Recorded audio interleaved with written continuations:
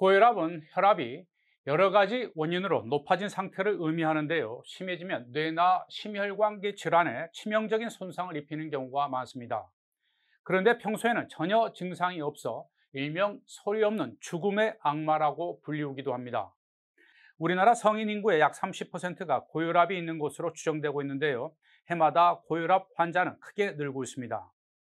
최근에 건강보험 심사평가원이 공개한 자료를 보면 지난해 만성 질환 중 환자 수가 가장 많았던 질환은 역시 고혈압으로 집계됐습니다.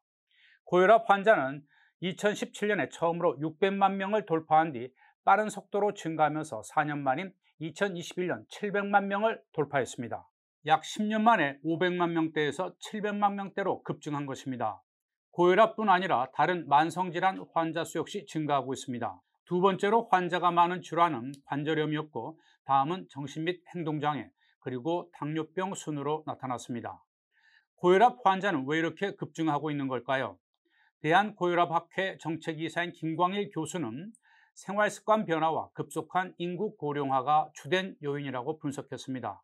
특히 최근에는 젊은 환자 수도 늘고 있다는 점이 눈여겨볼 대목이라고 지적했습니다. 그렇다면 작년에 건강보험 요양급여 비용이 가장 큰 질환은 무엇이었을까요? 암 질환인 것으로 나타났습니다. 그 다음은 정신 및 행동장애, 되뇌혈관 질환, 신경계 질환, 관절염 순으로 요양급여 비용이 컸습니다. 암 질환의 요양급여 비용 규모는 8조 3,300억 원으로 가장 컸는데요. 이는 2017년 대비 무려 46% 가까이 늘어난 수치입니다. 한편 지난해 65세 이상 노인 진료비는 39조 6,490억 원으로 전년 대비 9% 가까이 증가했습니다. 전체 요양급여 비용에서 노인 진료비가 차지하는 비율도 점차 증가하고 있는데요. 지난 2019년에 처음으로 40%를 돌파한 뒤 작년에는 42.4%를 차지했습니다.